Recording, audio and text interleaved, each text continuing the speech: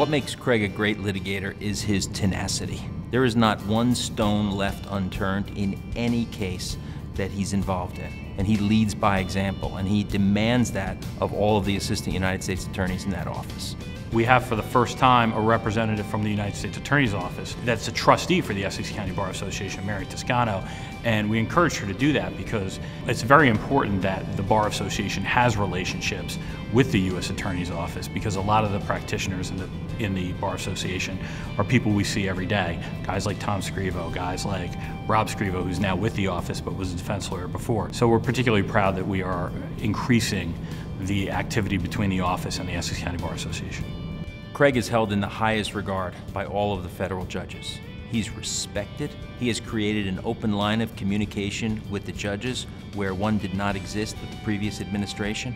He understands how difficult it is to be a federal judge, and he is someone who approaches them and is approachable. He has brought uh, a renewed spirit and cooperation between the Office of the United States Attorney and the District Court. One of the goals I had when I became U.S. Attorney was I didn't just want to impact the community through legal proceedings. I also wanted to get my folks more involved in the legal community at large. And I'm really excited to see that the federal uh, practitioners are more involved in the Essex County Bar Association, I think, than any of the other county bar associations. You know, when I show up at the annual gala or at the judicial um, conference, what I see are the same folks that I see in the Association of the Federal Bar of New Jersey.